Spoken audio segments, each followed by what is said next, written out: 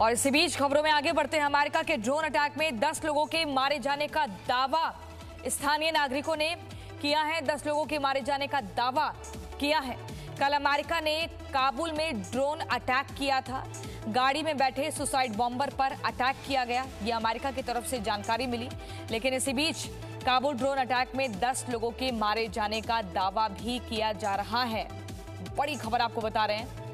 अफ़गानिस्तान में पल पल की जानकारी जी न्यूज़ के माध्यम से आप तक पहुँचा रहे हैं। क्या मौजूदा स्थिति है? लेकिन काबुल ड्रोन अटैक में 10 लोगों के मारे जाने का दावा किया जा रहा है। स्थानीय नागरिकों ने 10 लोगों के मारे जाने का दावा किया है। बीते दिन अमेरिका ने काबुल में ड्रोन अटैक किया था। गाड़ी में बैठे सुसाइड बॉम्बर पर अटैक किया गया। और उसके बाद ये माना जा रहा था कि अमेरिका ने अपना बदला ले लिया है क्योंकि जिस तरह से काबुल एयरपोर्ट में हमला हुआ था उसमें तेरह अमेरिकी सैनिकों की जान चली गई थी। और जैसे ही उन सैनिकों का पार्थिव शरीर आज जब अमेरिका पहुँचा तो वहाँ पर राष्ट्रपति जो बाइडेन खुद रिसीव करने के लिए आए और उन्होंने इस हमले के बाद ये कहा था कि चुन चुन कर बदला लिया जाएगा बख्शा नहीं जाएगा। जिस तरह से यह हमला किया है इसका बदला ज़रूर लिया जाएगा। और उसी के 36 घंटे बाद अमेरिका ने काबुल में ड्रोन अटैक किया था। गाड़ी में बैठे सुसाइड बॉम्बर पर यह अटैक किया गया। लेकिन इसी बीच स्थानीय लोगों की तरफ़ से दावा किया जा रहा है कि 10 लोगों की मौत हो गई है। स्थानीय नागरिकों ने 10 लोगों के मारे जाने का दावा किया है। 36 घंटे बाद काबुल में क्या होगा? ये सवाल हम आपके सामने इसलिए उठा रहे हैं क्योंकि 31 अगस्त की रात अफ़गानिस्तान में अमेरिका की डेडलाइन खत्म हो जाएगी। अमेरिका का यहाँ पर रेस्क्यू ऑपरेशन अभी भी जारी है। काबुल में अभी भी 300 अमेरिकी मौजूद हैं। तालिबान ने भी कहा है कि 31 अगस्त के बाद अमेरिकी हमले बर्दाश्त नहीं होंगे। तो 36 घंटे बाद काबुल में क्या होगा? ये बड़ा सवाल। 31 अगस्त तक काबुल छोड़े अमेरिका। ये तालिबान की तरफ़ से डेडलाइन दी गई है। अमेरिका को तालिबान का पहले से ही अल्टीमेटम है। 31 अगस्त के बाद अमेरिकी हमला बर्दाश्त नहीं करेंगे तालिबान। अफ़गानिस्तान में अमेरिका का रेस्क्यू ऑपरेशन लगातार जारी है। काबुल एयरपोर्ट पर अभी भी लोगों की भीड़ जमा है। रेस्क्यू करने में और वक्त लग सकता है, अमेरिका की तरफ़ से कहा गया है। क्योंकि अभी भी 300 अमेरिकी फंसे हुए हैं। वैध दस्तावेज़ वाले विदेशियों को आगे भी छूट मिलेगी। लेकिन अब महज 36 घंटे का वक्त बचा है। 31 अगस्त की डेडलाइन है। इसके बाद क्या होगा? अगर वहाँ पर इस समय सीमा के बाद भी अमेरिकी सैनिक मौजूद होते हैं तो काबुल में तालिबानियों का क्या रिएक्शन होगा? काबुल से हमारे संवाददाता अनस मलिक की एक्सक्लूसिव रिपोर्ट आपको दिखाते हैं।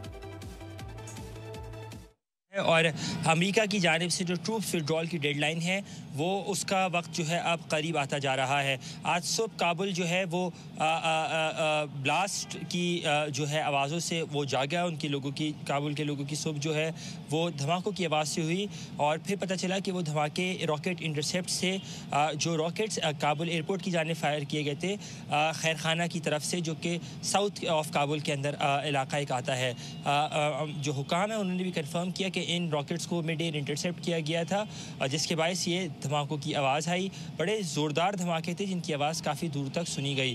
उसके साथ साथ ये रॉकेट अटैक काबुल एयरपोर्ट पर उस वक्त किया, उस वक्त किया जा रहा है, जब 24 घंटे से भी कम वक्त पहले अमेरिका की जानब से काबुल में अपनी नौीयत का पहला ड्रोन स्ट्राइक किया गया, जिसमें उसका दावा है कि उसने अमेरिका की जानब से आई एस खुरासान के दो जो दहशतगर्द हैं, उनको मारा है और साथ साथ जो लोकल मीडिया रिपोर्ट्स हैं, वो कह रही हैं कि इस ड्रोन स्ट्राइक के अंदर जो सेकेंडरी एक्सप्लोजन उसकी वजह से कॉज हुआ, उसमें तकरीबन कम अज़ कम सात सिविलियंस जो हैं, सात जो मासूम शहरी हैं, वो भी अपनी जान से हाथ धो बैठे हैं। जी मीडिया के लिए, अनस मलिक, काबुल, अफ़गानिस्तान से। और इसी पर हमारे सहयोगी सिद्धांत सिब्बल और रविंद्र सिंह रॉबिन हमारे साथ जुड़ गए हैं। दोनों से हम जानेंगे, समझेंगे हर एक पहलू को। सबसे पहले सिद्धांत सिब्बल आपके पास आते हुए जो मौजूदा स्थिति बनी हुई है, इसको किस तरह से देखा जाए? क्योंकि 31 अगस्त डेडलाइन है और अभी भी 300 से ज़्यादा अमेरिकी वहाँ पर फंसे हुए हैं जिनको इवैक्यूएट करना है। देखिए सिचुएशन काफ़ी नाजुक बनी हुई है। मैं आपको बता दूँ 24 घंटे से कम का वक्त रहने वाला है। कुछ ही देर बाद जब हमें पता है कि अमेरिकन को अफ़गानिस्तान छोड़ना पड़ेगा और वो छोड़ना भी चाहते हैं, कहीं ना कहीं एक तरफ़ से हमने देखा है पिछले एक हफ़्ते के अंदर काफ़ी एक तरफ़ से टेरर अटैक्स हो गए हैं। कल एक वाक्य हुआ था जिसके अंदर अब बाहर निकल के आ रहा है कि वो एक फैमिली थी जिस पे अटैक हुआ था और ना कि आईएस के जो टेरर टेररिस्ट हैं, जैसे यूएस कह रहा है। तो काफ़ी कंफ्यूजन है, काफ़ी कयास है और इस कयास के अंदर अमेरिका निकलने की कोशिश कर रहा है। वहीं अगर हम देखें रीजनल जियो तो पाकिस्तान की बात कर ले, चीन की बात कर ले रूस की बात कर ले ये एक तरफ़ से कोशिश कर रहे हैं अपने ऑन वॉइस से कि कुछ वहाँ पे बातचीत हो सके। तालिबान भी सरकार ना चाहता है तो एक कयास ज़रूर बना हुआ और इस कयास के अंदर भारत के लिए सबसे बड़ी प्रायोरिटी अपने लोगों को निकालना। मैं आपको बता दूँ ऑपरेशन देवी शक्ति अभी भी जारी है और भारत के लोग अभी भी कुछ वहाँ पर है, ज़्यादा लोग नहीं है। कुछ लोग अभी भी हैं और कुछ जो अफगान, सिख और हिंदू थे जो छोड़कर भारत आना चाहते थे, वो भी आना चाहते हैं तो वो भी एक बड़ा फोकस है भारत में मैं आपको बता दूँ, आज थोड़ी देर बाद करीब 12 एम इंडियन स्टैंडर्ड टाइम जो यूएस सेक्रेटरी ऑफ़ स्टेट है एंथनी ब्लिंकन वो एक फॉरेन मिनिस्टर्स मीटिंग होस्ट करेंगे। उसके अंदर बहुत सारे देश होंगे जापान होगा नेटो होगा कनाडा होगा यूके होगा फ्रांस होगा। और फोकस यही होगा कि कैसे कोऑर्डिनेट करें अगला एक पड़ाव। ठीक है सिद्धांत। रविंदर सिंह रॉबिन जी आ, हम लगातार इस पर एक्सपर्ट्स के साथ चर्चा भी कर रहे हैं। आपसे भी हम जानना चाहेंगे जो मौजूदा स्थिति बनी हुई है। इसको लेकर क्या नया बड़ा अपडेट आ रहा है। लेकिन महज 36 घंटे अब बचे हैं डेडलाइन के नज़दीक पहुँचने में। तो क्या अगला रिएक्शन हो सकता है? इसको अलग अलग आ, कयास लगाए जा रहे हैं इस पर। लेकिन केओस की स्थिति अभी भी बनी हुई है। बिल्कुल आपने सही कहा। क्योस बना इसके साथ साथ जो खबरें तालिबान की तरफ़ से आई है वाया कतर आई है। हालाँकि तालिबान के एक सदस्य ने कतर में ये कहा कि भारत इस उप महाद्वीप के लिए एक बेहद महत्वपूर्ण देश है और उनका समूह चाहता है कि वो भारत के साथ अफ़गानिस्तान के सांस्कृतिक और आर्थिक और ये सारे रिलेशन अतीत की तरह बने रहे। तालिबान का इस तरह का बयान आना तो एक राह ज़रूर देता है कम से कम उस वक्त के लिए जब तक वहाँ पे कुछ भारतीय जो फंसे हैं उनको निकालना इवैक्यूएशन भारत की प्राथमिकता है इस वक्त हम्म। और जैसे सिद्धांत ने बताया कि अकेले भारतीय नहीं अफगानी हिंदू सिख जो जियारत के लिए भारत आना चाहते हैं उनके लिए तालिबान से संपर्क और भी तरीके से किया जा रहा है उन लोगों द्वारा किया जा रहा है जो यहाँ पे आना चाहते हैं जो मेरे सूत्र बताते हैं तालिबान उनको कह रहे हैं कि जिनके पास वैलिड वीज़ा इंडिया का है और पासपोर्ट है उनको रुकेंगे नहीं। ये बात कहने की है लेकिन जब तक वो एयरपोर्ट तक नहीं पहुँचते जब तक वो जहाज़ तक नहीं पहुँचते तब तक ये बातें बेमायने रहेंगी हम्म। और कयास लगते रहेंगे। भारत तालिबान के बयान जिस तरीके से आया है उसको भी देख रहा होगा और भी और भी देशों के साथ ताउन के साथ सबसे पहले प्राथमिकता इवैक्यूएशन की है इकतीस अगस्त से पहले। जिस तरह की डेडलाइन से पहले अमेरिका ने जो वार्निंग दी थी ब्लास्ट की उसके बावजूद भी दो तीन ब्लास्ट काफ़ी सारे ब्लास्ट हुए हैं और लोग वहाँ पे अभी भी एयरपोर्ट के बाहर भीड़ अभी भी है और जो। भारत को अफ़गानिस्तान छोड़ना चाहते हैं। बिल्कुल। सिद्धांत, अमेरिका, ब्रिटेन, ऑस्ट्रेलिया, टर्की समेत सौ देशों ने लगभग एक साझा बयान अफ़गानिस्तान पर जारी किया है, जिसमें कहा गया है कि अगर जो जिस भी देश के नागरिक हैं जो अफ़गानिस्तान को छोड़ना चाहते हैं, अगर कागजात उनके पास पूरे हैं तो उसमें किसी भी तरह की अड़चन तालिबानियों की तरफ़ से नहीं लगाई जाएगी। लेकिन इस बयान पर कितना भरोसा किया जाए? देखिए, तालिबान कहीं ना कहीं एश्योरेंस दे चुका है इंटरनेशनल कम्युनिटी को कि इवैक्यूएशन को लेकर ज़्यादा मसला नहीं होगा, पर कहीं ना कहीं ये वही तालिबान है, जो नब्बे के दशक में काफ़ी एक तरफ़ से उसने अट्रॉसिटीज की थी।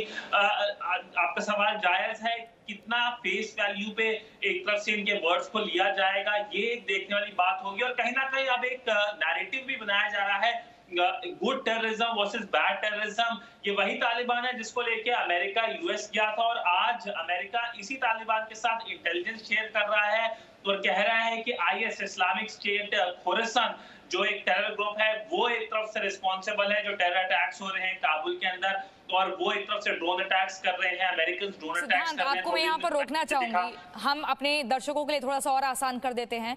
आपने गुड टेररिज्म और बैड टेररिज्म किया कहा इसमें अच्छा बुरा क्या है? आतंक तो आतंक है आतंकी गतिविधि तो बुरी ही मानी जाएगी। देखिए आतंक तो आतंक है, ये भारत कहता आया है और कहीं ना कहीं दुनिया जब भी ऐसा करती है good terrorism versus bad terrorism good Taliban versus bad Taliban करती है तो कहीं ना कहीं हमने देखा है कि दुनिया भर के अंदर आतंक को लेकर एक डायकॉटमी होती है। मैं आपको बता दूँ कि भारत ने 1996 में एक प्रस्ताव पेश करा था यूनाइटेड नेशंस में, उसे कहते हैं सीसीआईटी यानी comprehensive convention on international terrorism उसका एक मकसद था कि दुनिया में कॉमन डेफिनेशन होनी चाहिए आतंकवाद को लेकर। 20 साल होने को आया आज भी एक कंसेंसस नहीं बन पाया यूनाइटेड नेशंस में ही आतंकवाद को लेके आतंकवाद क्या है?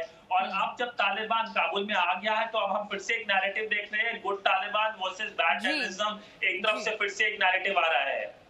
ठीक है सिद्धांत बहुत शुक्रिया। रविंदर सिंह रॉबिन जी आपका भी बहुत शुक्रिया हमारे साथ जुड़ने के लिए। लगातार और जानकारी आपसे जुड़ाते रहेंगे।